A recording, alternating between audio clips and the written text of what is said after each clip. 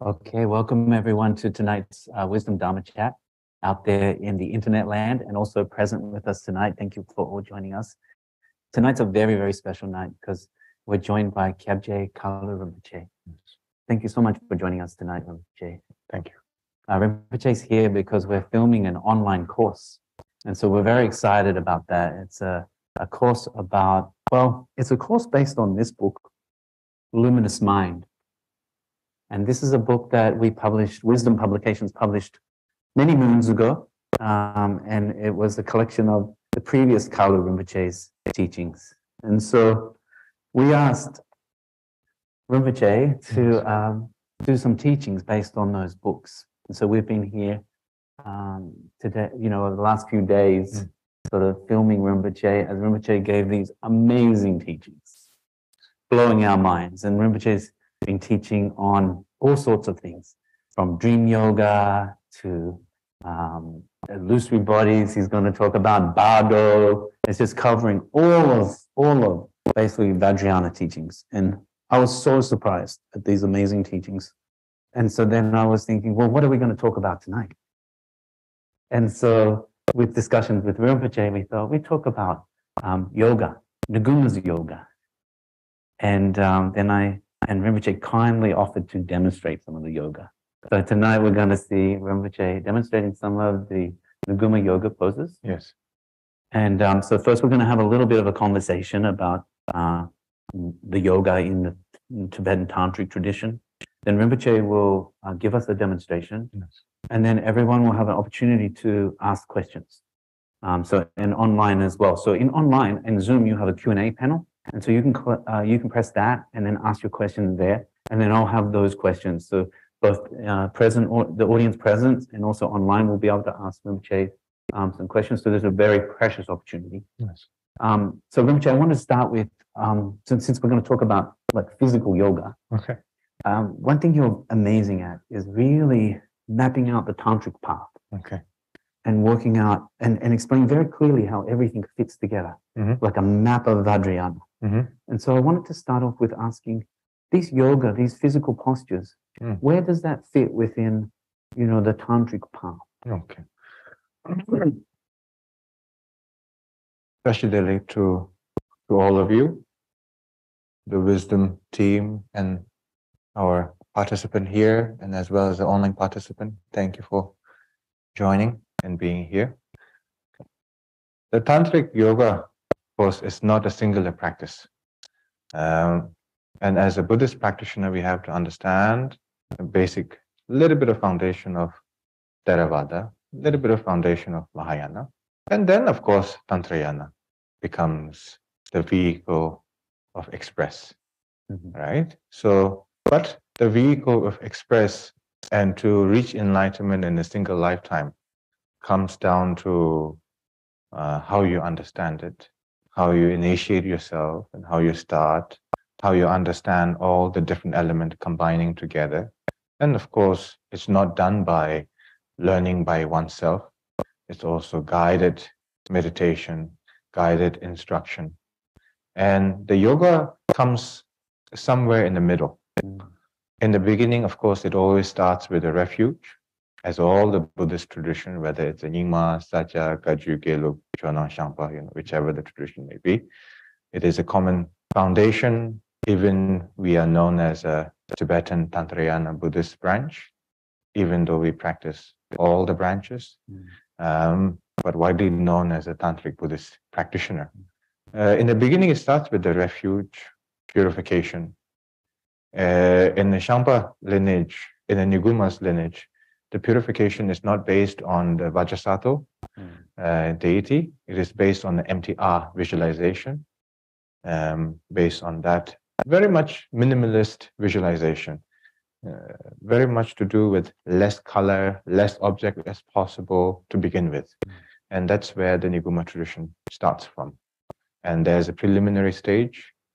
Uh, and then after that, uh, of course, there's a deity practice the deity practice is very important because the whole purpose of the deity is not to gain miracle or magical uh, powers or foreseeing or predicting the future. That may be the possibility, uh, this gift and this experience may come, but you have to let it go because you should not be distracted by little experience. You should reach to the ultimate goal. So the yoga uh, comes after the uh, establishing yourself of the deity practice. The purpose of the deity practice is that you kind of distance yourself from the senses. Uh, right now, we are very much attached into how I look, how I sound, how I how, how I am perceived, and what kind of impression I should give to others, which is the ordinary human being, the way we function. So when you practice the deity, you're letting go of all the ordinary habits, you're letting go of all the ordinary fixation, and then you are entering into a subtle stage of mindfulness, the subtle stage of awareness. Once you establish that, then it brings some form of uh, uh, clarity in mind. But before you start the deity, it is very important to start doing a shamatha, calm abiding meditation, analytical meditation. Just because I teach yoga doesn't mean that you prioritize less uh, in when it comes to calm abiding meditation or analytical meditation. These are the procedure. But then when you practice deity, then you naturally, over the time, not instantly, over the time, all the important and the fixation to the senses tend to reduce over the time. As that is reduced, an awareness overwhelms that, and then the clarity uh, maintains it. And then you have the subtle body experience, not because you grab the idea of the subtle body, but rather you uh, revealing yourself. I like the idea of revealing yourself because many people they have this idea of reaching somewhere, getting from someone, somebody else putting a statue on the top of your head, and then all of a sudden you realize it, you know. And we have that idea, and it's great. There's nothing wrong with it. but you have to understand that yoga is about channeling. So channeling is a very simple foundation from my understanding. When you have the uh, non-fixated, some form of awareness and clarity, and then in order to reinforce, the yoga comes to a place. Yoga does not replace the deity practice, but rather reinforce your clarity, your awareness, and then it strengthen your foundation and whichever the deity practice that you may be doing. Like an example, when you maintain your yoga practice, you bring such a great awareness to your breath, to your physical movement, and your awareness that even sometime when you read the teachings of Milarepa or the teachings of Niguma, you tend to have instant devotion as a as in the peak of your experience. And that is a form of clarity that you tend to develop. If you don't have the yoga or the deity practice simultaneously combining together, then time to time, maybe there's a tragic story that you hear and there, and then you have a little bit of tears, a little bit like when you watch a sad movie, mm. and doesn't do much to you. Bit of emotion here and there, but doesn't do much to you. But then, uh, if you don't have awareness and just reading the biography of all the great masters and teaching and having a little bit of tears and a little bit of overwhelming emotion, doesn't change much. But then if you maintain your yoga practice with awareness of your breath, because yoga is about awareness of the breath. It's not about the moving around. Hmm. It's not about cleansing your negative energy only. It's about you know, having awareness of every breath that you take hmm. and not keeping the gap between the sequence as well. Like an example, when we practice, we have this idea I'm at the first sequence, second hmm. sequence, and we justify the distraction in between yeah. in like one session. Okay, I finished one session. Oh, se- second session. Now I'm starting. So we have this idea that I am starting now. I am ending now. I am finishing the practice. You have to understand that the Dharma practice never finishes until you reach enlightenment. Mm. So we have to let go of this idea of I am finishing my first session, but rather continuation. But in the beginning, it can be difficult and overwhelming to maintain that. So therefore, sequence, break, session, break to keep in order is good. And the yoga has to reinforce the deity practice. The deity practice has to reinforce the yoga practice. And then when you have this continuation of the breath and the mind synchronizing together, like an example, when you conquer your air, you conquer your mind. Mm. You know, longsim la rawang toba. Mm, So you do not conquer the mind by itself by accident. Mm. First, you have to conquer your air. Doesn't mean that being able to keep very long. It simply means being able to maintain with a subtle distraction as possible. Once you maintain that, and then recognizing the nature of the mind, having a very immense compassion from the bottom of your heart, naturally, all these are beautiful experience, and all these are there to experience it at that stage. You know, because at that stage, when you have this continuation of awareness, you have created some form of gap from the fixation.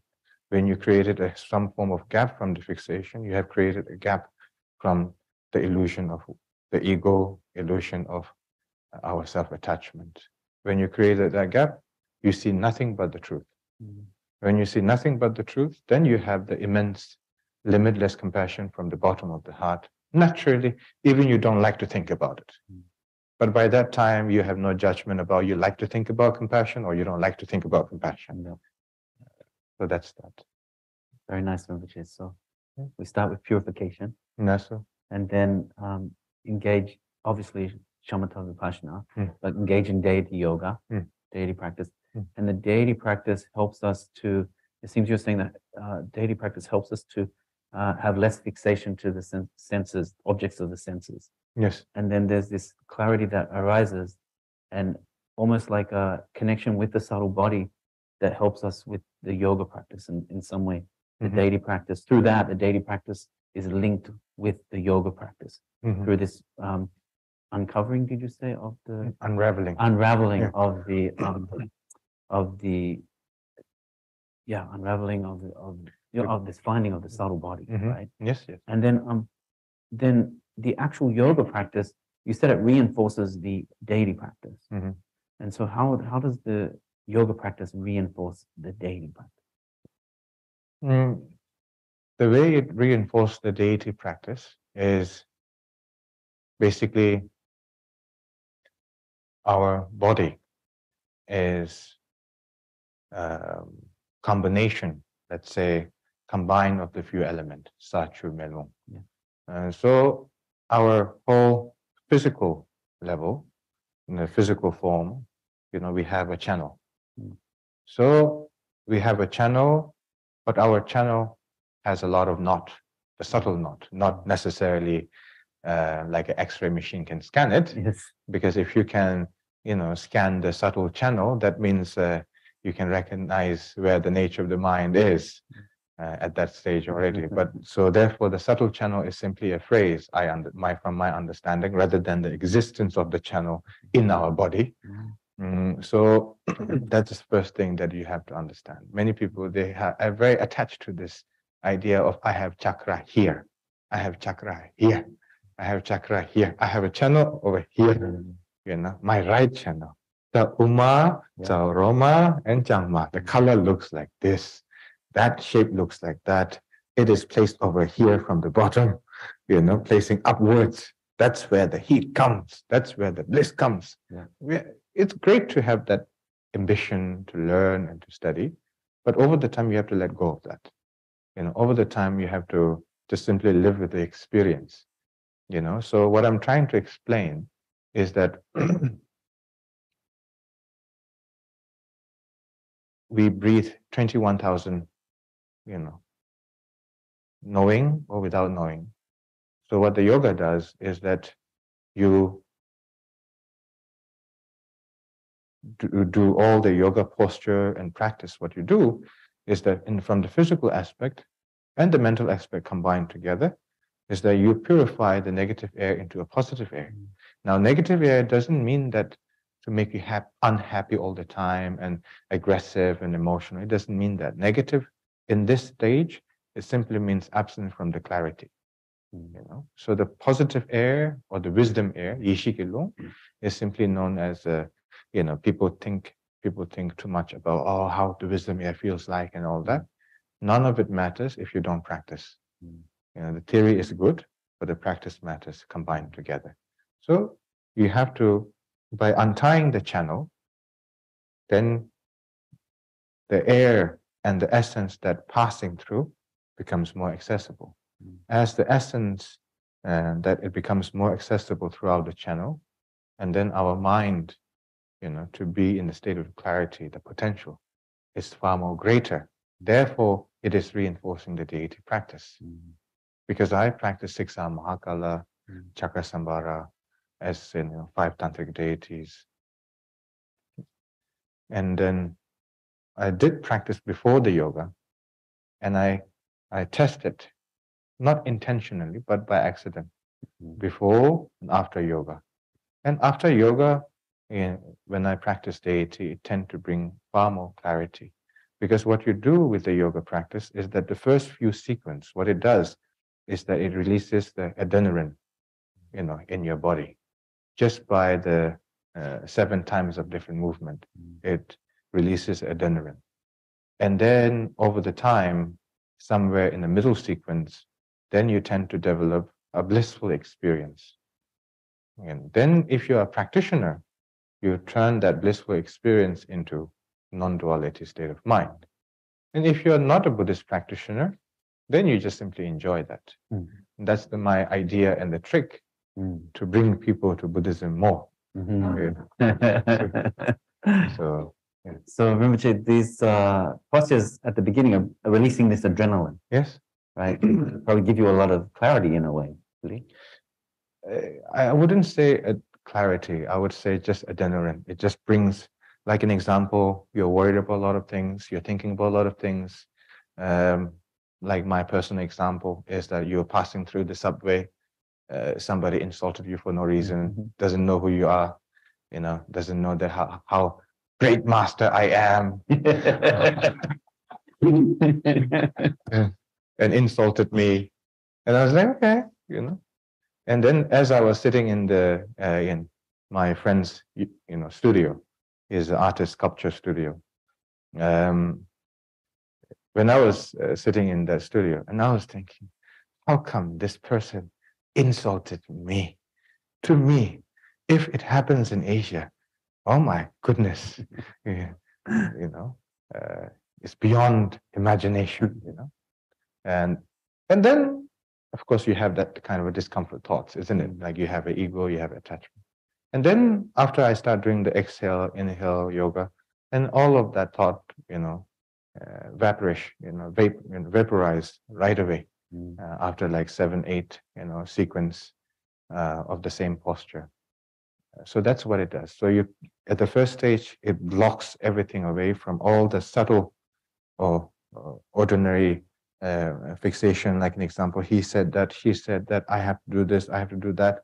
So the first beginning of the few sequence that kind of vaporize all of that Mm. and distraction. And then, you know, then the only at the middle stage of the sequence, then the clarity start to appear Okay. only at that time, not in the beginning. Okay, and then the the bliss will come with the clarity.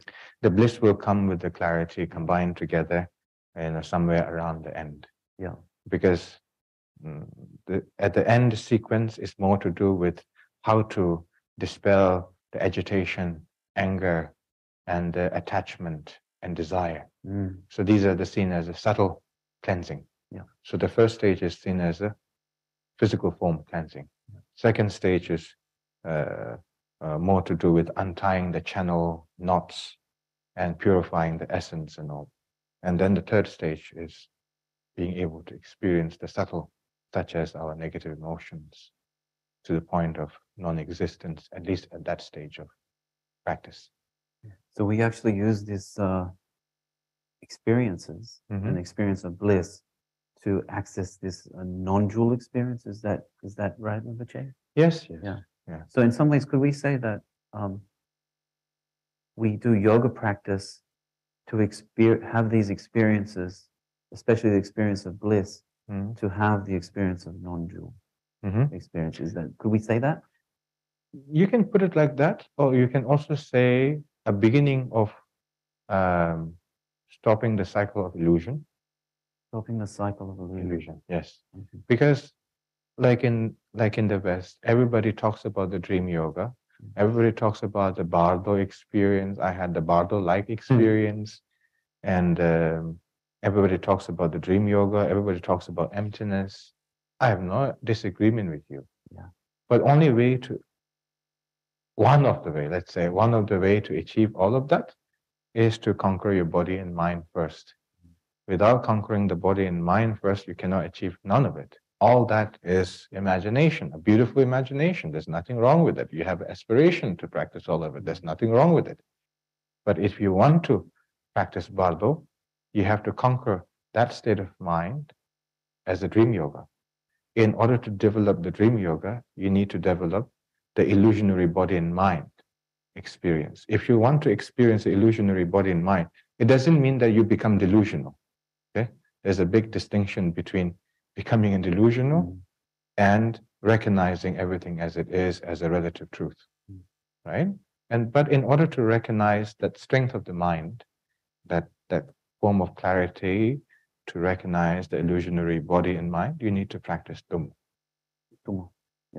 the yoga, Yeah. the heat generating practice, the physical and the mental combined together with all the potential gathering together. So the yoga practice supports the tumo practice, the inner fire practice, which supports your, um, you know, touch in touch with the illusory sort of body, Yes, which helps you with your dream yoga. exactly. Without which you cannot really do Bardo yoga, right? No, you Yeah. cannot. So Bardo yoga, because the very existence of the Bardo is projection of thoughts that is beyond our control. Mm, And that is the very cause of the suffering of the Bardo. mm, And not just wake, not waking up from it, mhm, but also not having the awareness of whatever we are projecting. mhm, Like an example, person who has a great traumatic experience will never be in peace instantly after that he or she gone through an extreme traumatic experience. They will live in that memory again and again, again and again. And every decision they make will relate to the traumatic experience they had. mm, Right? So that is that is in our physical level of experience that we can admit at least. And then, like an example in a dream, you know, at least we can say, ah, that was a bad dream. That wasn't real. But in the state of the Bardo, you don't have a choice at that stage. You don't say, I have a traumatic experience. At that stage, it's no longer a traumatic experience. It's just a, the body doesn't exist anymore, but you still have all the projection of fears and uh, on different unpleasant things mm, to summarize. But in order to relate to that Bardo experience, you need to experience the dream yoga. mm, Because in the stage of the dream yoga, in the, all the elements, Sachu, Melung, you know, the dissolving stage is exactly the same as the, the Bardo stage when we enter the death, but the only difference is that the pace is different. In the state of the dream, we do not see the, the Mother Nature clear light. In the state of the Bardo, we see the Mother Nature clear light. So in the state of the, the dream, we just don't see the Mother Nature clear light. But other than that, all the element, we are able to witness it if we have a subtle awareness mm, you know so in order to develop that subtle awareness you need to develop non-fixated non-fixated uh, to all the different kind of attraction lust all that kind of things from the the world of senses right because if you are in very much overwhelmed by a world of senses let alone the clarity you cannot even have time to meditate you know by saying that it doesn't mean i have conquered my mind okay i'm still struggling uh, so just to be clear, just because I share my experience doesn't mean that I've achieved it. So I know a little bit in terms of experience.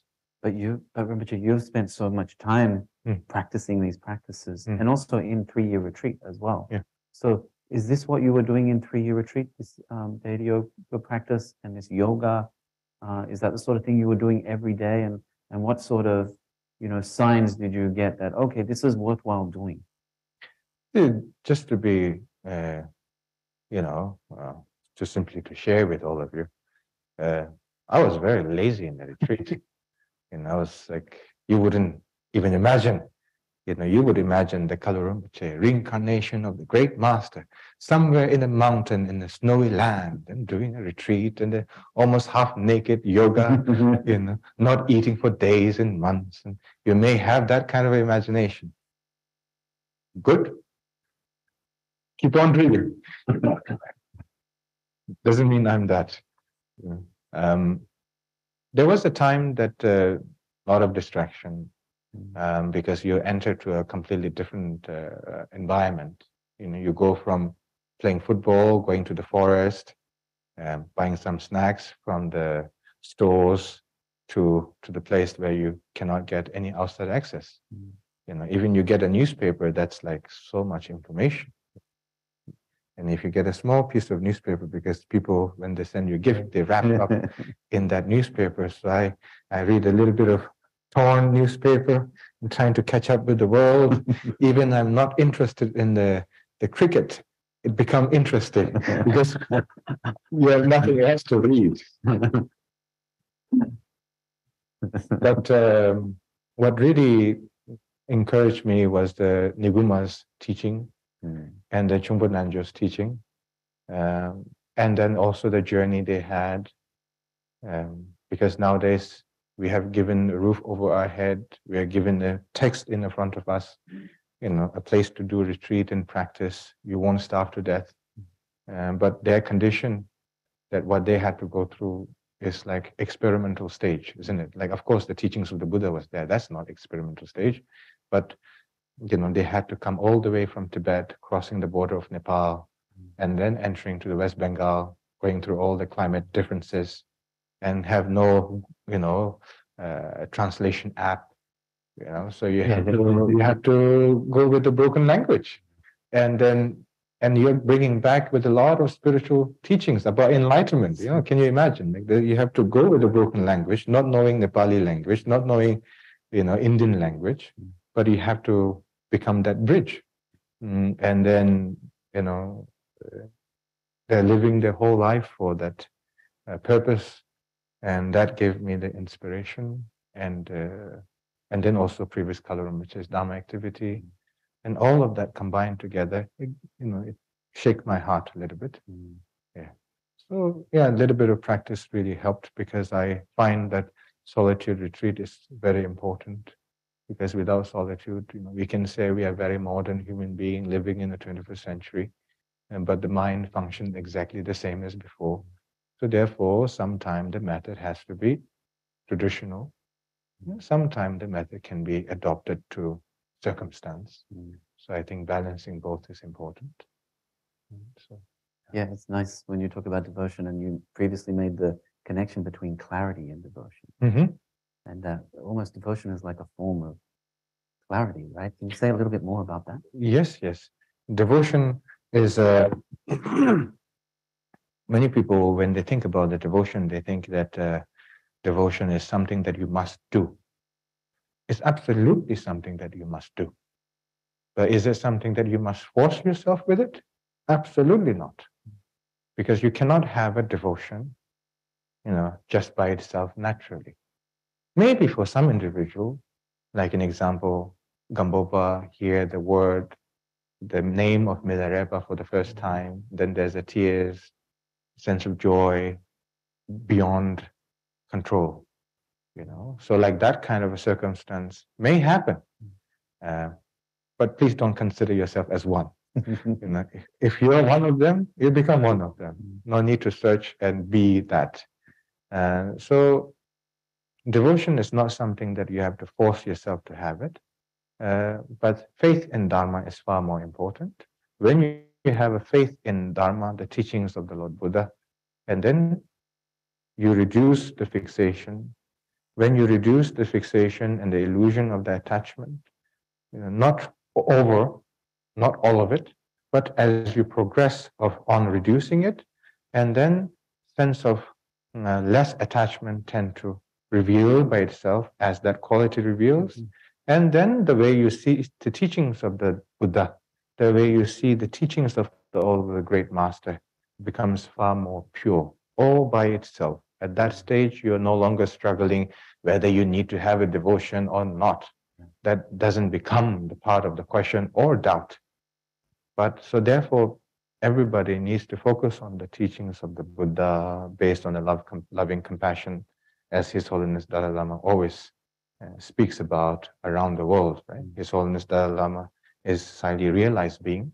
Uh, he can talk about so many different things, but yet when it comes to the engagement to the general public, he always emphasizes on loving compassion, our Avalokiteshvara practice. You know, so practice can be very simple.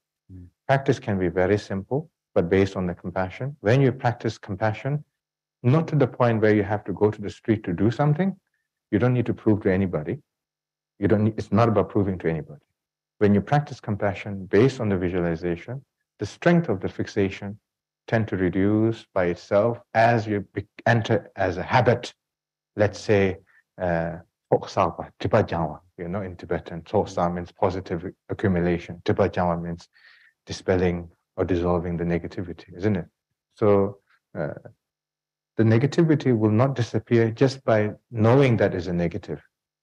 This negative will only dissolve only when you accumulate the positivity. And how you accumulate positivity, what practice you do matters. So the practice we should choose is a practice of compassion. Mm. That is the opposite of our self-fixation. And then when you practice compassion based on the visualization, not challenging yourself in the real world, okay? uh, my insurance doesn't cover that. Uh, so when you develop that uh, compassion uh, based on the visualization again and again, and slowly by slowly, little by little, you are able to resist overwhelming negativity, Mm. step by step. As you overcome slowly, slowly, and then the clarity in mind tend to develop, and then compassion genuinely uh, becomes your new version of reality, and then also the devotion to the great master, the teachings, more become accessible to your heart. Mm, so faith to the Dharma, then devotion will naturally come Yes, yes, when, when it's time. yes, yes. Of course, you can respect to all the great master. You can receive all the teachings, whether it's from the Nyingma Satyaka Jige, Luchon, or Shangpa, whichever the tradition may be. But don't force yourself, don't force yourself to be compassionate. Yeah. Practice compassion, and the result will come eventually by itself. Just like that, focus on the clarity of your mind, and then the devotion to the authentic master. You will see it, you will sense it, Mm. then you will devote at that time by itself. Very nice. Yeah. And Rinpoche, you seem to have this special connection with Niguma, Mm. obviously a lineage holder of the Shangpa Kagyu. Mm. So could you tell us a little bit about uh, who is Niguma? Mm. Sort of your sort of connection and feeling towards Niguma. Mm. And then since we're going to move into seeing a little bit of the yoga practice, Mm. um, a little bit about what is Niguma's yoga. Mm. Uh, regarding the Niguma, there's not so much known about her.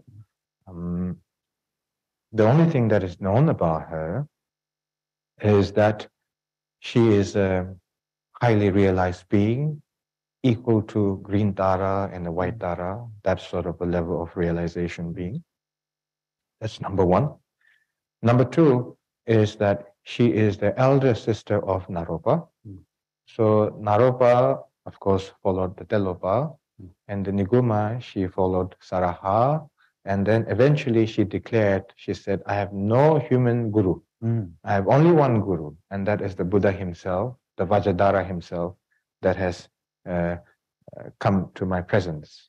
Uh, so that is her declaration in terms of the level of realization that she had. That's the uh, that's the origin of that. And the third is that her lifestyle. Uh, she is known as a Kandroma, but many people when nowadays when they think about the Kandroma, they think it's something to do with the consort, you know, Mm. and that is a wrong misunderstanding, uh, because being a Kandroma has nothing to do with being a consort.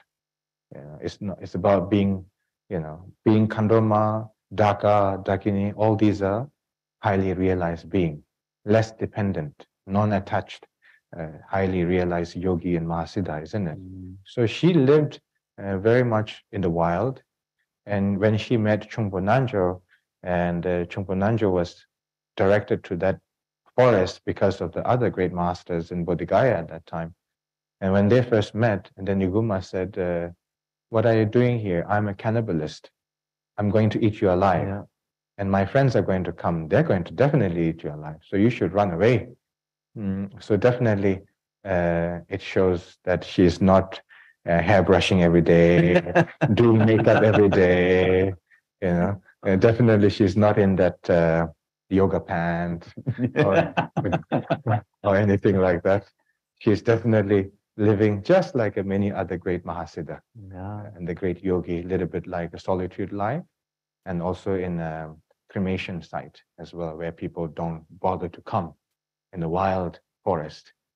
Uh, and my relation to the Niguma is, of course, it goes all the way back to uh, previous Kalu Rinpoche and the previous Kalu Rinpoche with the previous Rinpoche, and then goes all the way back to the uh, the first Jamgon Taye and the Taranatha and all that teachings and the transmission that is passed down uh, to me over the time. So that is my relation in terms of the mm, the empowerment. But uh, from my heart connection was in the retreat. When I read the biography, when I actually practiced, that was the time that I told myself I'm going to uphold this lineage and bring it back alive and make it, uh, you know, what do I say, maintain as it should, Mm. uh, as a one of the Buddhist branch in terms of the lineage and the practice and the yoga. Mm, That's that. Very nice. Thank you, Rinpoche. You're welcome. And um, and you said in retreat you had a sort of, you know, that those practices came easy for you in a way compared to other practices, right? Yes, yes, yes. practices. So there's some connection. Yes, I basically became a nationalist uh, right wing.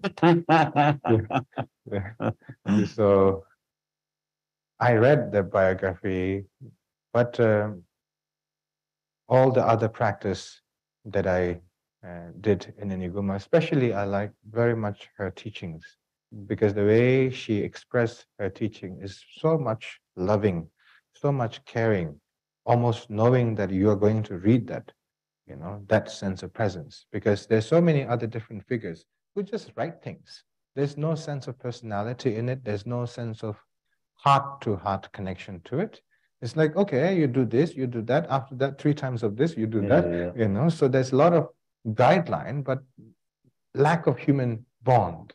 So when I read the Niguma's teaching, there's a human bond Mm, from her to her student.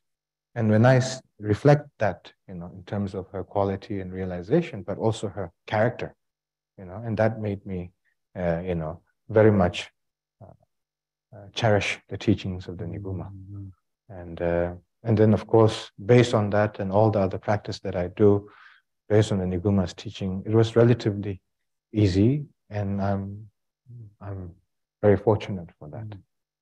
So one last question, Rinpoche. Often these teachings are considered very secret. Mhm. And so I was wondering like, uh, how you think about secrecy. What is the role of secrecy? Vajrayana is often associated with you know, the secret teachings. Mhm. So what does secrecy mean in terms of Vajrayana in this, this context? I mean, you can search on the internet. There's nothing much secret left. You can say, "I'm going to keep a secret," but there's nothing much left. Yeah. And uh, Niguma herself, uh, she mentioned, she said, "My lineage, my five jewels of Niguma's teaching, and the six yogas of Niguma should kept secret until the seventh generation. That includes her. She said, "You have to keep it secret until the seventh generation. After the seventh generation, then the seventh lineage holder is permitted to give to the public. Mm, You know, whether it's the five jewels of Niguma, whether it's all the teachings. And so that's that is the historical origin. Due to that, like an example, the second Dalai Lama, His Holiness Dalai Lama, was born in a Shangpa Kagyu family. mm, And his father was a retreat master overseeing the small temples and the retreat centers and so on. As he reached the teenager age, he was already influenced by his father. And then he was recognized as a reincarnation of Dalai Lama.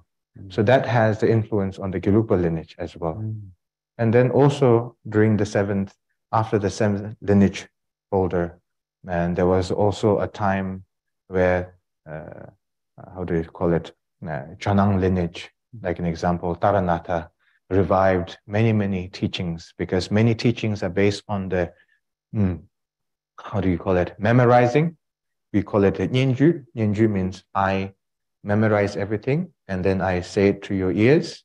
I don't say it to anybody. You memorize everything and then and then I pass it to the next one. Mm. So it's called Ninju. So it was not just a singular lineage that was not allowed to make it public, but it was also a ear to you know ear uh, lineage.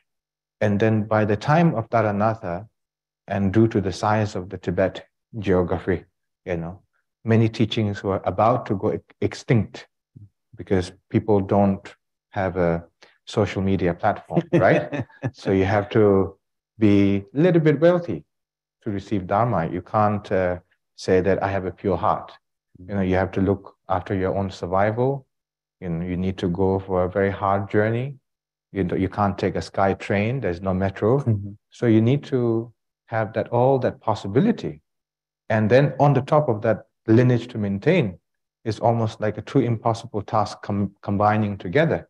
One is people coming together is already challenging. And when the teaching is like ear to ear lineage, ninju, Mm. and then that is like the perfect scenario for lineage to disappear. And then so what Taranatha did was that he uh, revived many teachings, many practice. Uh, so due to him, So he wrote these down. yeah, he wrote it down. Mhm. And then also, like an example, the concept of the three years retreat. Uh, nowadays we know it. It's relatively new. It's not ancient as we think. And the concept of three years retreat, one monastery start to do it, the other monastery copy it. Mhm. Like an example, you see the one rooftop looks similar, looks nice. Okay, the next one does similar to that. Mhm. And uh, so therefore there, there became a trend and that the concept of three years retreat, okay, this lineage is doing like that, that lineage is doing like this. Because if you look back in a, in a biography of Milarepa, there's no mention of so-called three years retreat. There's a lifetime retreat, Yeah. you know, which is far more Mhm. than a retreat. Uh, so we have to understand that, oh, some practice is only allowed in the retreat. Yes, that is made up in the recent generation. But prior to that, before that, there's a many, because otherwise all the teaching wouldn't spread, Mm. you know, because it wouldn't spread to the Gelupa school, it wouldn't spread to the Kagyupa school, it wouldn't spread to the Jonang school, it wouldn't spread anywhere, you know, so, so that's that. Yeah.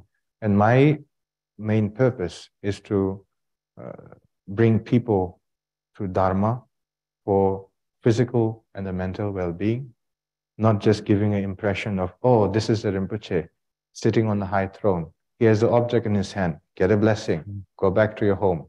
You know, that impression is good, you know, if we have a cultural mentality. But many people who are engaged in Buddhism, we, they don't have a cultural background. Mm. So what they need is they need to have this, some form of, uh, they need to taste the flavor of what is meaning of being a Buddhist and the Dharma practitioner. How, what can you feel within your body and mind? What is the difference before and after? You know, so if they can feel that, do that, right? And then there's no doubt that they will learn further Buddha's teaching, whether whichever the tradition may be. You know, it doesn't mean that they have to stick with me and me only. You know, so so that's that. Thank you, Rinpoche. Very You're- clear. You're welcome. So uh, maybe yoga time, yeah? Yoga time. so we're going to have a quick break, Yeah. uh, change the setup, and then we'll be back in about five minutes, and Rinpoche will be demonstrating some of the Niguma yoga. Thank you, everyone. Thank you.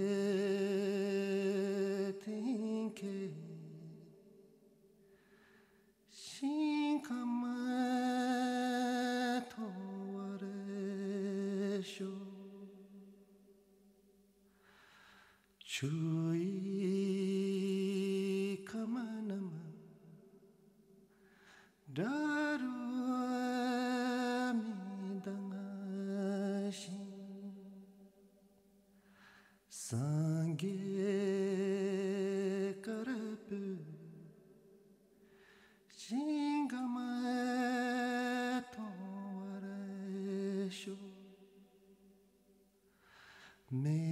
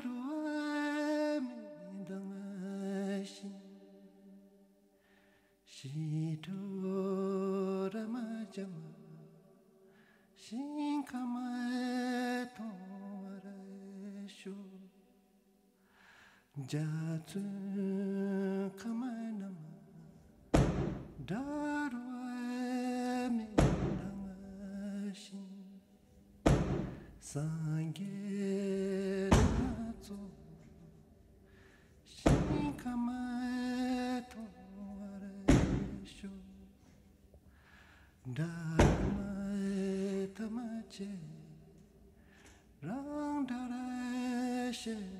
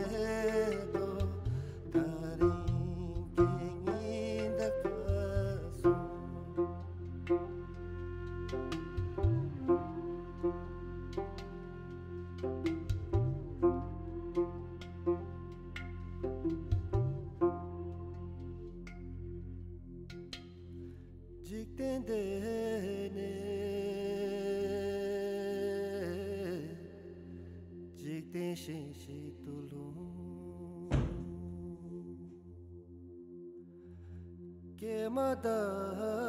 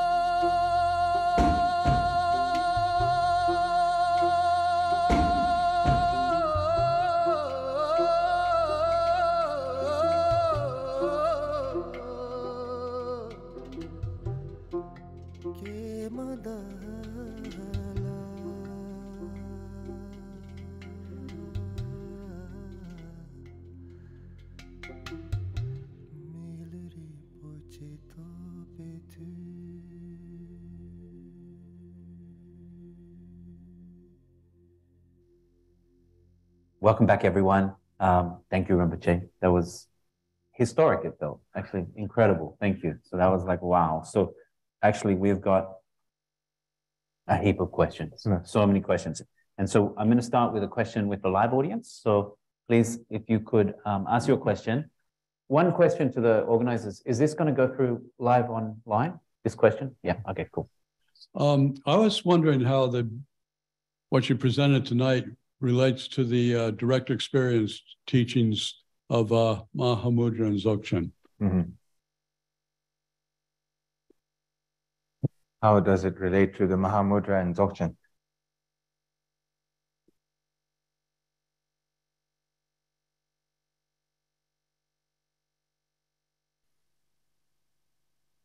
You see that when you do the yoga, that if your mind is all all over the place, then you cannot keep the air for quite a time. So the length of the air um, and the capacity, of course, it can go up to three minutes and so on. And um, it depends on the, the calmness of the mind. So if your mind is like all over the place, obviously your body reacts to it, your air reacts to it, and then you kind of let it go right away. Um, how that is related to the nature of the mind, it is not directly uh, uh, it's not directly linked to the nature of the mind as if that it's going to trigger. It's not like that. It, you have to continue to do practice. You have to continue to do practice just by doing a one time of the sequence, one time of the session is not going to be enough. You have to receive the, the nature of the mind teaching prior to that as well. A little bit before, a little bit after, a little bit during. So when you receive the nature of the mind teaching, what it happens is that when you do all the physical movement at the end of the sequence, you know, of all at, at the end of the all the sequence or somewhere in the middle, your mind goes into a state, a very sense of calmness. This is a very much in a sense of a needless attitude. So then, if when you are, you know, you're bringing that kind of uh, condition with your air and the body and untying the channel, you're bringing that, that condition, isn't it? So as you bring that condition, and then if you have the nature of the mind teaching, and then you bring that into your sense of reflection of thoughts in your mind in that in, in, in that very subtle moment, and that's how the yoga becomes the part of the Mahamudra or the Dzogchen or the nature of the mind practice, similar to the deity practice, isn't it? Like an example, when we think about the deity practice, it is not simply chanting mantra. The mantra is not the priority, isn't it? The mantra is just part of it so that your speech is not distracted. Visually, you're visualizing the deity. Mind, you're focusing, you know, visually and the mind, you're focusing on the deity. Physical aspect, you are in the meditation posture. When you three synchronize together, then you experience the subtle state of mind.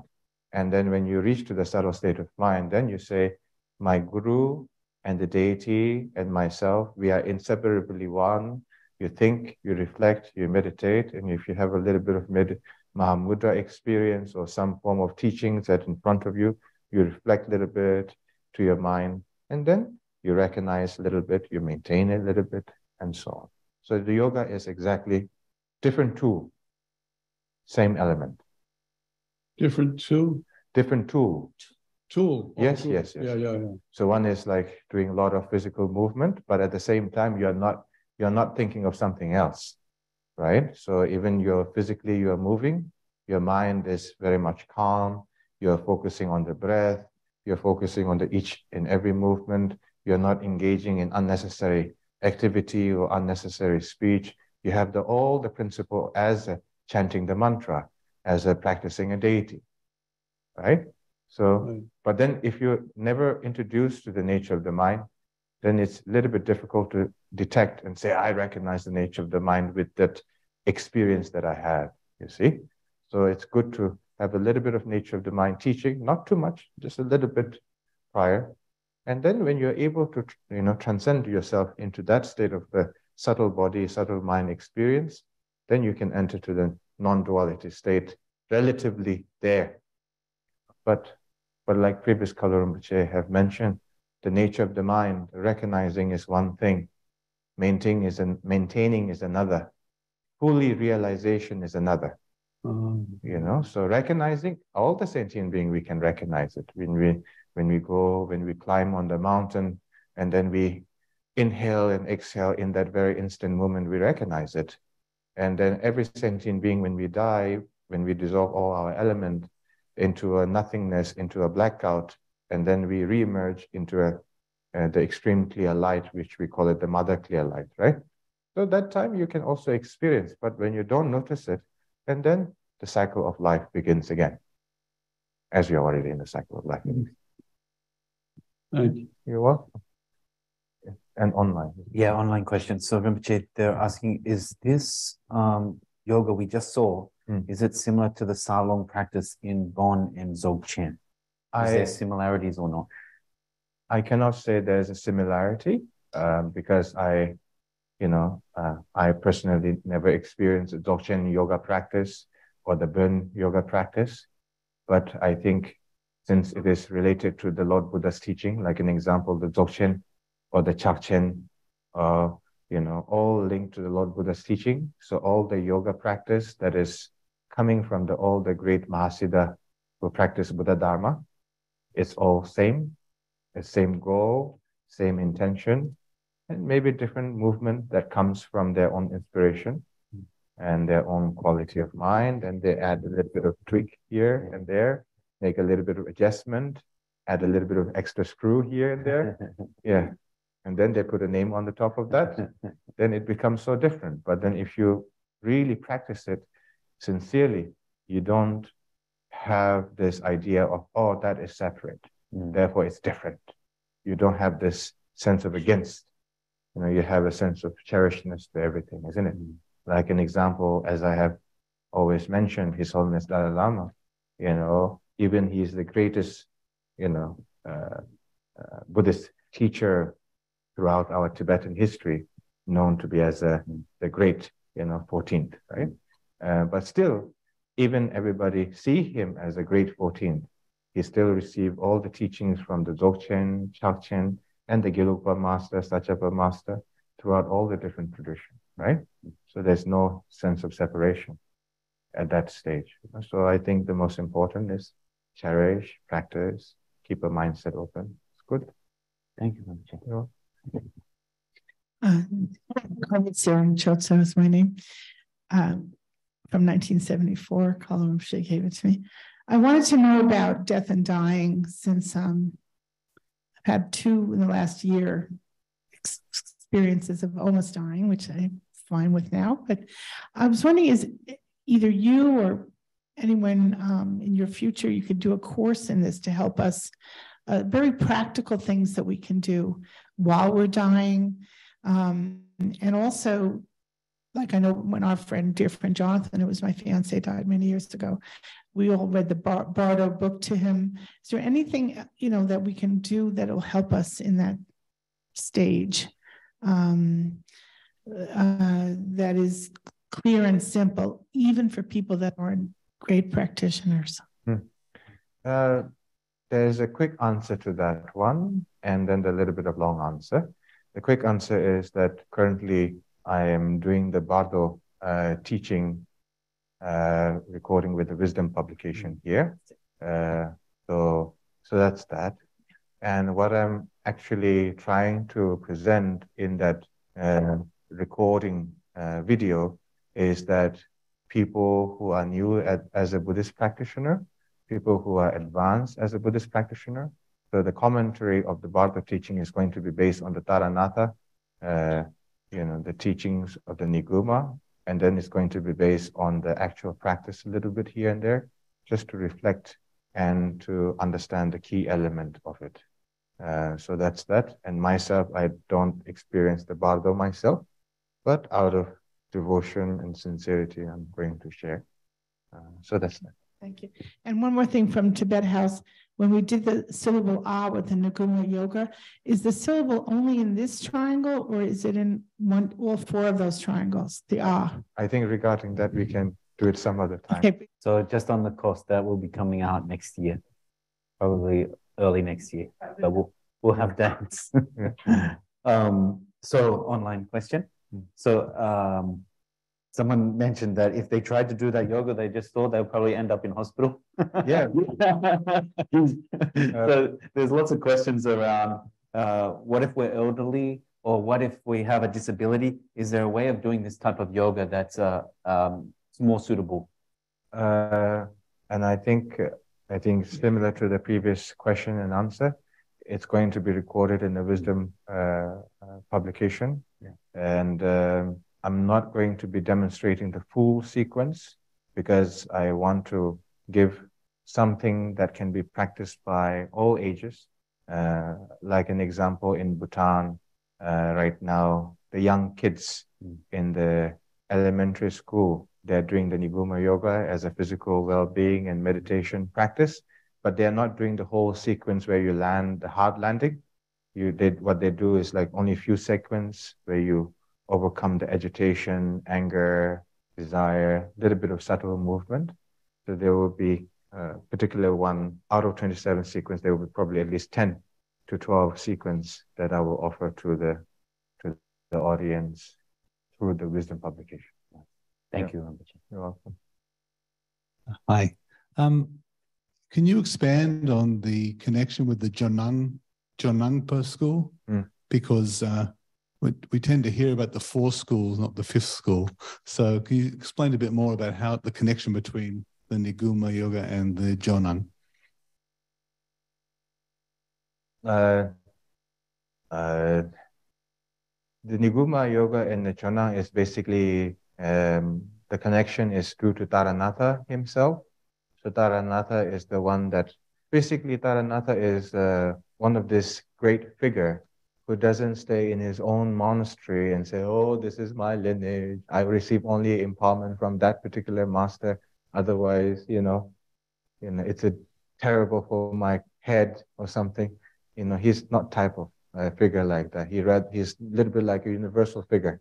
Like an example, His Holiness Dalai Lama, wherever there's a precious teachings, wherever there's a rare teaching, he tend to receive it, all of it, regardless of the different traditions and background. And that is the example of previous Kalu Rinpoche as well. He has a many Dharma friend, such as Chadral Rinpoche and all the other great Nyingma master, like Nyoshul Khen Rinpoche. All these are his Dharma brothers and they've known each other since Tibet, you know, before the 60s. Um, so Kalu Rinpoche, he, he didn't say that, oh, I'm a Shangpa and I'm going to practice only Shangpa, but he rather focused on every different uh, figures to receive all the teachings. So Taranatha is known to be like that kind of a figure. And the Shangpa practice and the Niguma practice, he really brought back to life.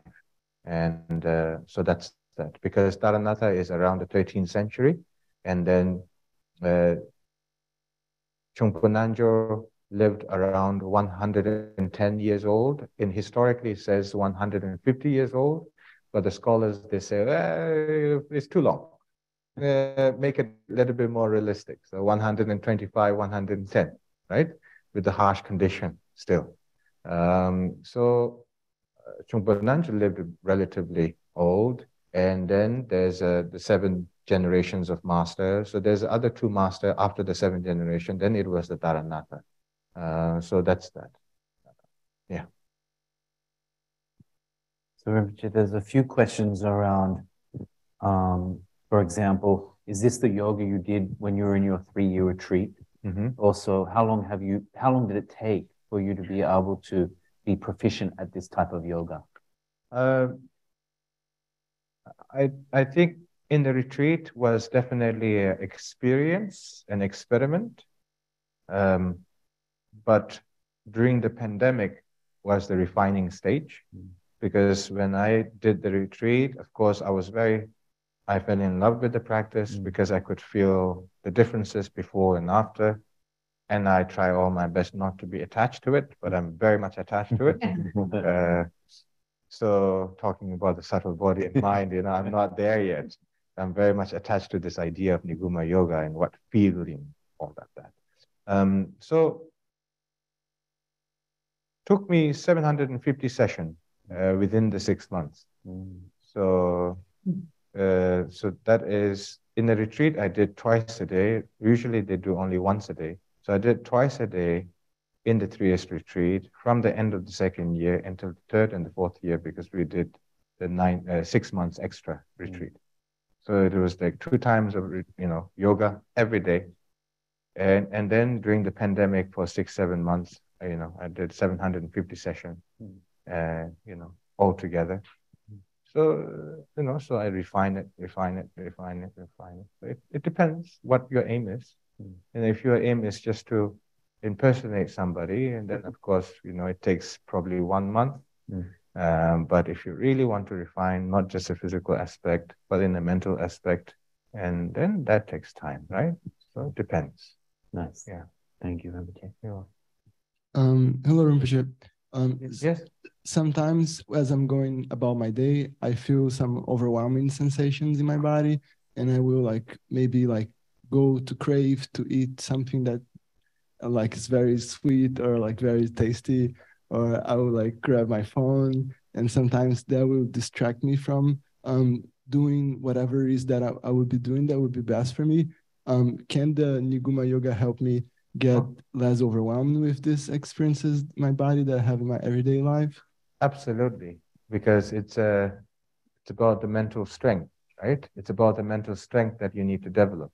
But the definition of the mental strength comes down to the uh, clarity of the mind, you know, and then the clarity of the mind comes down to the judgment, the strength of the judgment. The strength of the judgment comes down to whenever the projection of thought arises in your mind and how you react to it. That makes the difference between making the decision of doing something terrible for yourself or something good for yourself, or maybe nothing is good also, right? So for me, that helped a lot, you know, for the yoga, because there was a time between the three years retreat, completing the three years retreat in 2008, and until the pandemic, I was traveling around and it took a toll in my body because you always meet different people and they invite you for dinner and lunch. It's impolite to say, oh, I don't have a time for you and then of course you end up you know eating a lot. And uh, sometimes you eat with them until midnight you know because they ask a lot of questions and it is impolite to leave you know. And if you say no and then they will say oh look at Kalu Rinpoche's not bodhisattva at all. No compassion.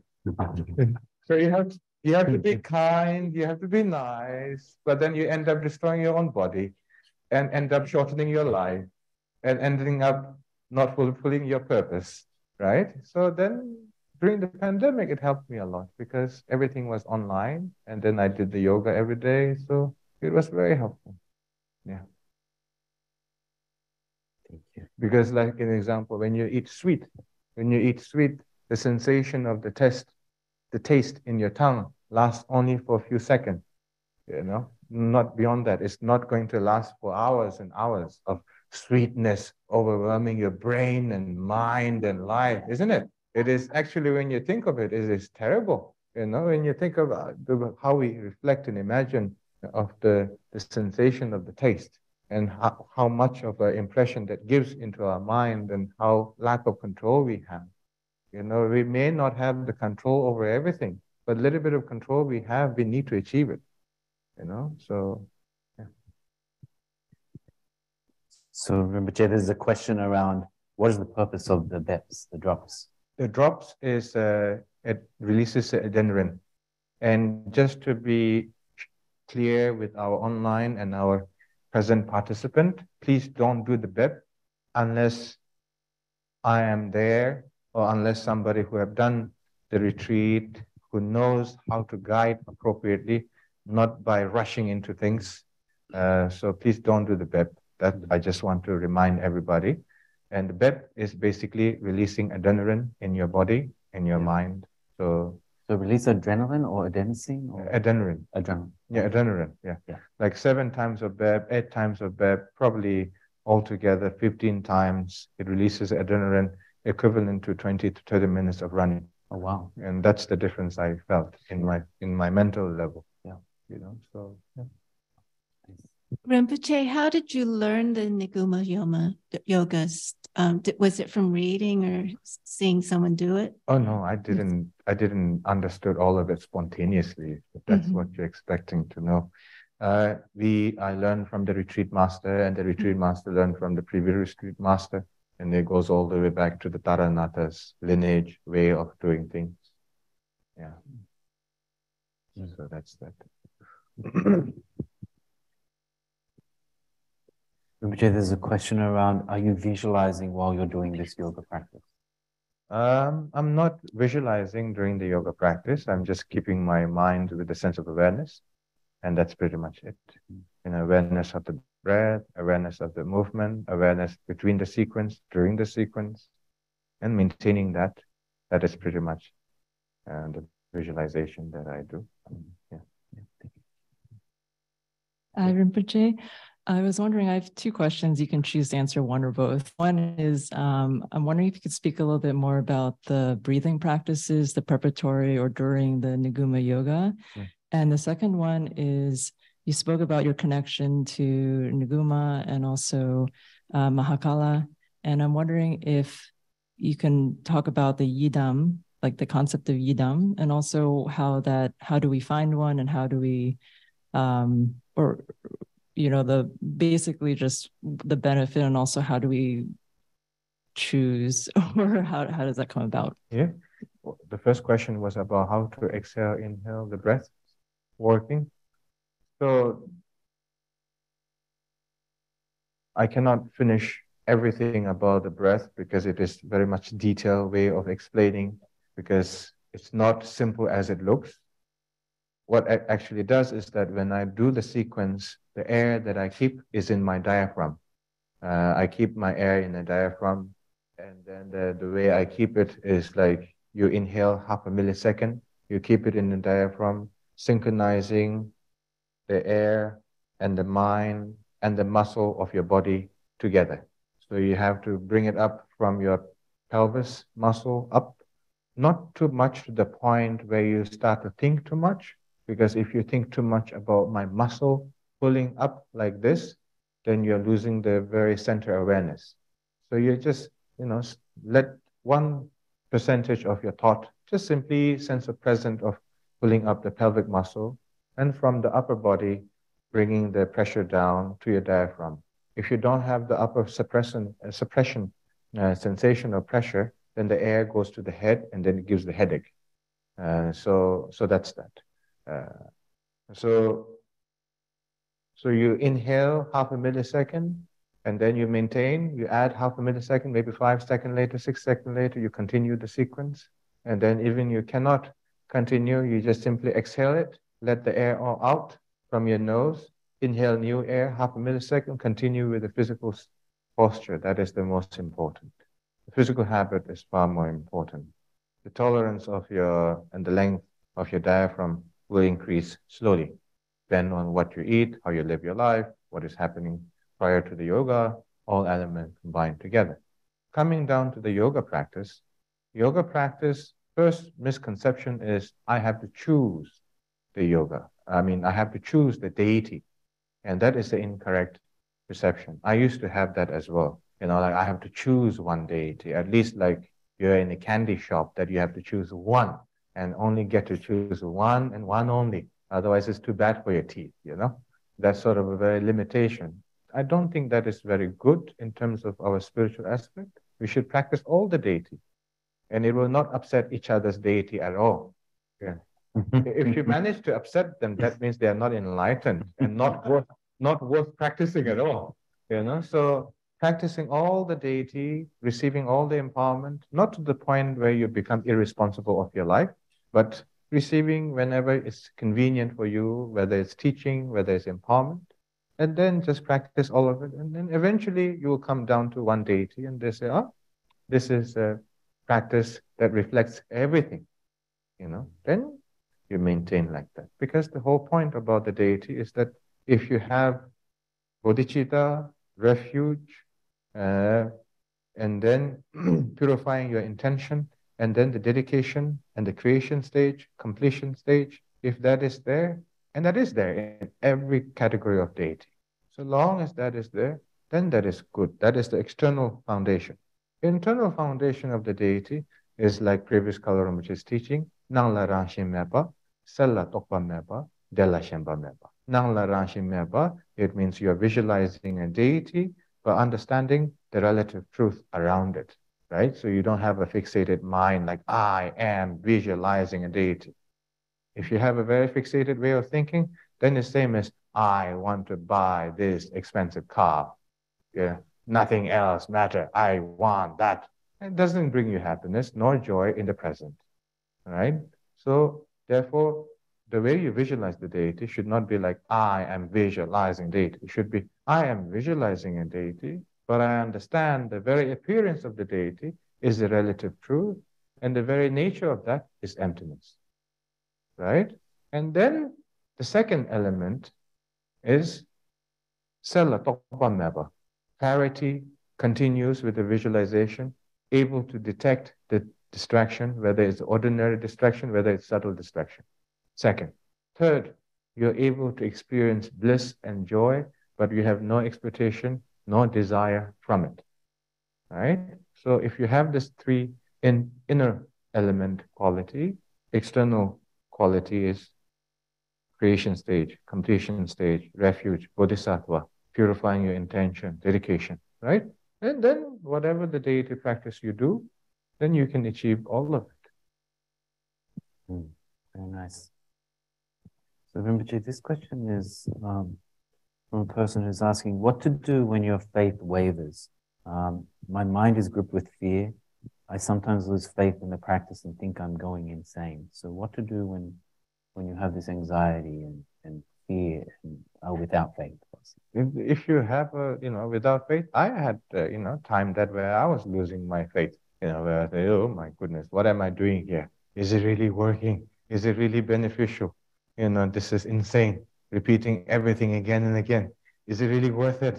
Am I really going to be enlightened? Look at all the great masters, what they have achieved. I'm nobody. I'm nothing. And, then there's something that His Holiness Dalai Lama had mentioned. And he said, if you think you're too small to make a difference, then live with the mosquito. yeah, then you become small, small-minded. yeah. You know. So there, there will be a time where there will be a confusion, where there will be a sense of discouragement, and then at that time, try to read the biography of great masters. Not necessarily practice every day, but read the biography of great master. Not so much to do with the uh, you know magical powers and all of that, but rather you know story somebody who doesn't fly over the sky. Mm-hmm. You know, like an example, there's many great masters who fly over the sky and perform miracles. These are good if you can reflect and use it positively. But if you think these are the priority, then the whole point of reading the namtar, you know, the history becomes incorrect. So such as read the biography of the recent masters and previous masters, mix all together, a little bit, little. And if that is not enough, then try to read the, the songs of the Shangpa master, you know, the timeless rapture. Uh, mm. you know, so like an example, the song, like an example, they practice their whole life and they come up with the one page and nowadays we practice a little bit and then we have a lot of books. and I'm joining that club. Uh, but uh, many great master, they practice whole life. They have one page, two page, and uh, and then when you reflect to this teaching, it's very beneficial.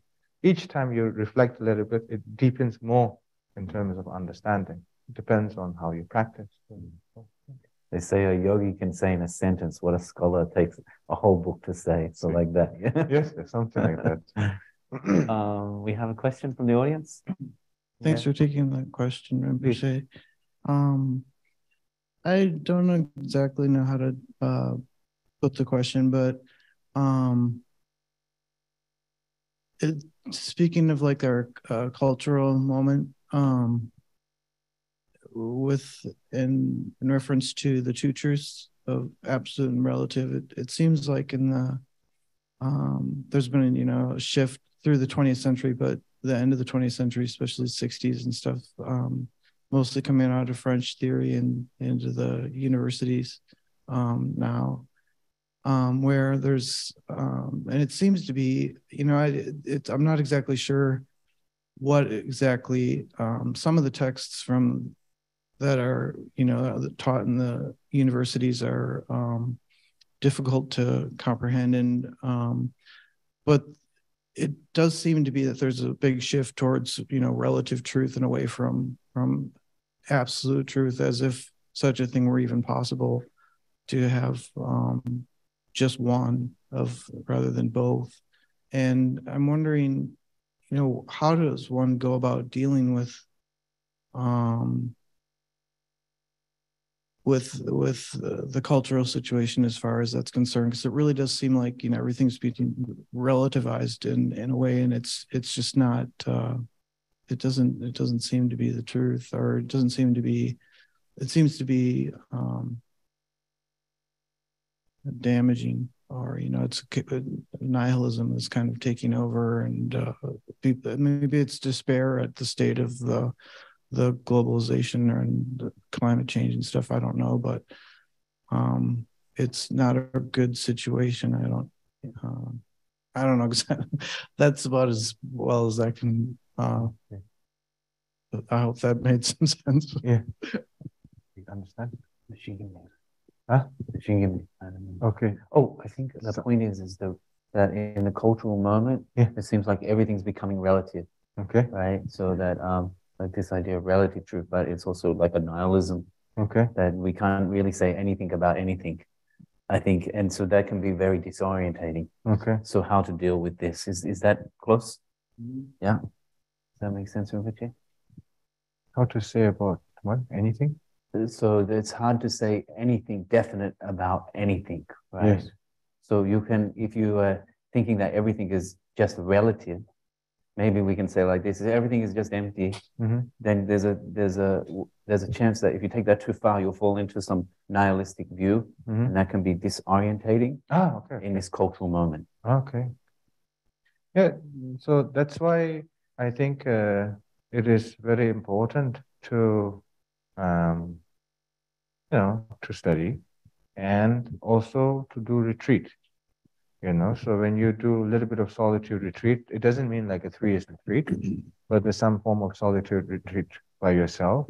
And then uh, when you receive all the different teachings based on the, the practice that you do progressively, and then how you reflect to the non-duality mm, can become uh, more relatable uh, based on the understanding. Otherwise, people nowadays, everybody reads so much about the emptiness and nothingness, you know, and that is not really beneficial. Like an example, I didn't read anything about the nature of the mind until the second year, you know. So the first year I just did my practice, and second year I also did my practice. Only around the end of the second year, then I see the nature of the mind, teachings, and so on.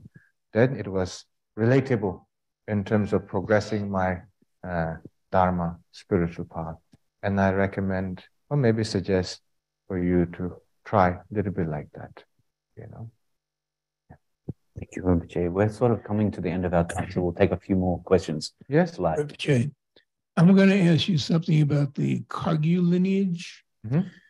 I was under the impression that your previous incarnation was Karma Kagyu. Mhm. So I've seen many pictures of him with uh, Karmapa. Mhm. And then today, when I started to research you, um, it you went up into a different lineage tree. So I got confused. Are you both? Okay. Um,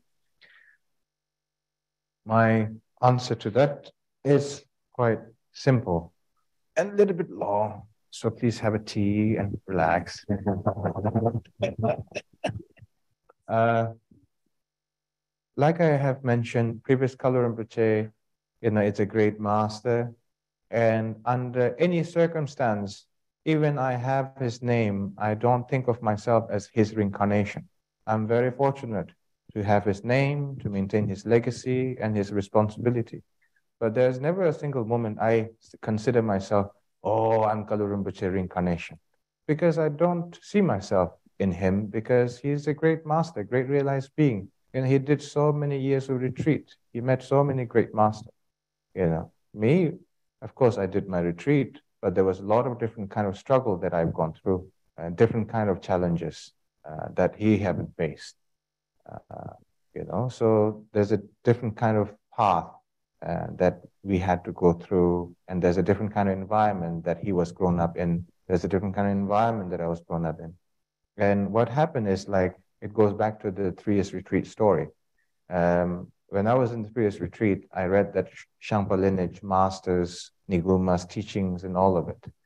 And of course, there's so many other teachings that are there.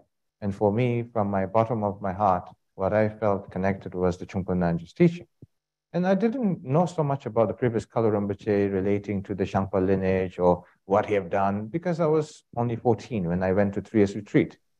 Uh, I came out when I was 18. I was touching a Sony Ericsson when I was going into my retreat, you know, like in 2003 and 4. When I came out, there was the first iPhone. I was touching the screen and I was a little bit like experimental animal or something. You know, when you touch the screen, I was so amazed by all the advancement that it was, you know, that has gone through within three years and nine months.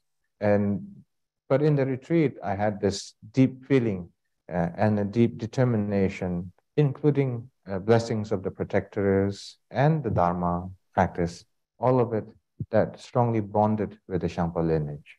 And then when I came out of the three years retreat in 2008, September 2008, uh, and I went directly to Sisitu Rinpoche, as he is also one of my guru.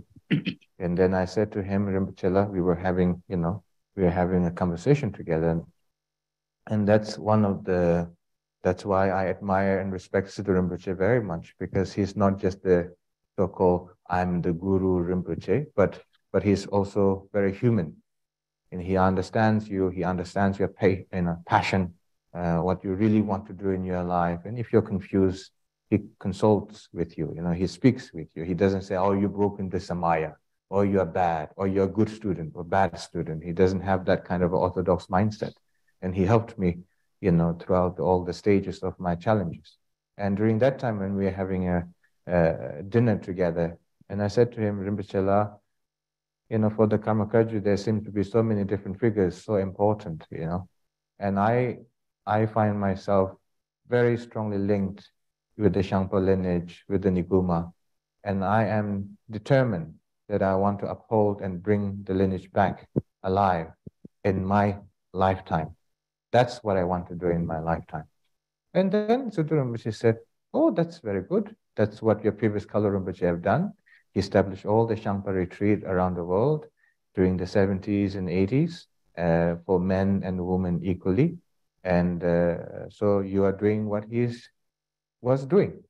So that's good. You should continue just like that. You have my support. Uh, and then, then I requested him again for the Shangpa empowerment, which takes like a whole month, transmission, empowerment, and everything. And I received that several times from other great masters, but especially from him, I wanted to receive it. It has a historical link because previous Kalu Rinpoche is known as a, how I say, you know, many different masters, lineage holder, and so on, but especially the Shangpa lineage, those who knows it.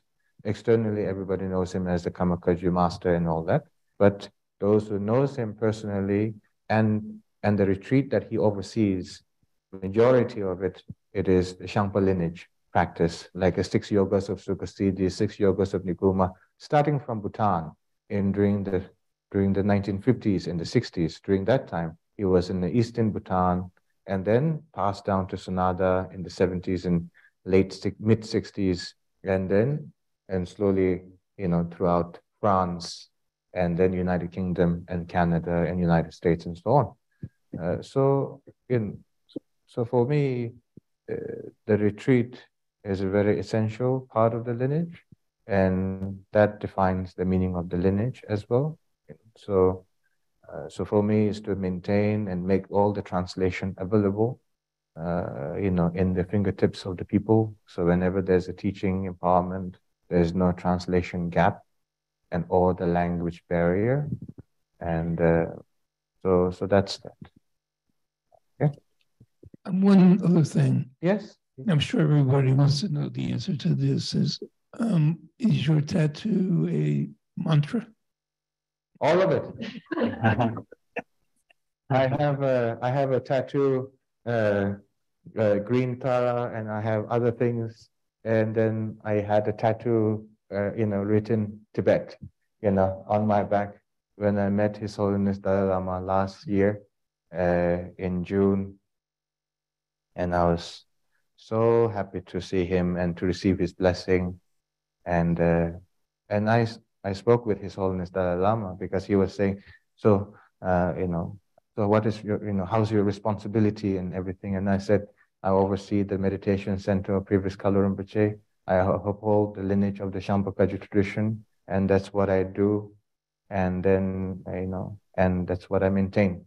And then His Holiness Dalai Lama said, that's very good. You should continue just like that, you know. So I have approval from my boss.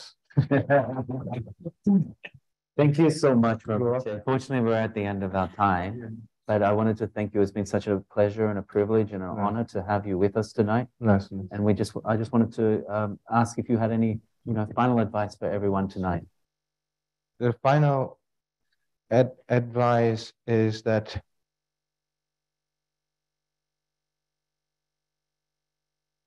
don't grasp into the idea of I need to have only one guru. Just have many guru as possible, have many teachers as possible, receive many teachings, many different empowerment as possible. Keep your practice simple as possible. And always try to receive the teachings, empowerment. And when you meet a real Dharma brother and sister and practitioners or a mentor or guru, always have a time to share the experience so that you can progress further rather than showing off. So whenever you have a mentor or your guru, of course, there's a general public teaching, but try to get private teaching as well. Like an example, Damngak, special teaching just for you. You know, whether it's an empowerment, whether it's a general teaching, whether it can be something very simple, try to have that close relation as well and balance it a little bit. Don't be overly attached to your guru. You know, maintain your social life, solitary retreat, mm.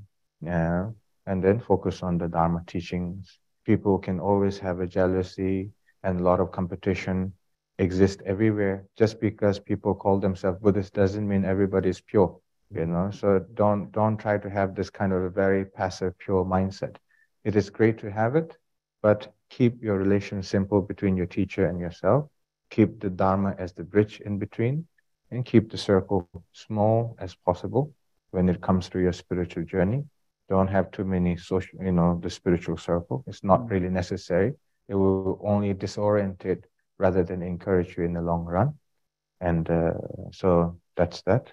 And many of you are Buddhist and Dharma enthusiast practitioner, and I'm very joyful uh, for you to, you know, for that that I see that in you. And please continue your spiritual journey, and please make a long life prayer to His Holiness Dalai Lama and all the great masters around the world, regardless of the different tradition, to benefit all the sentient beings.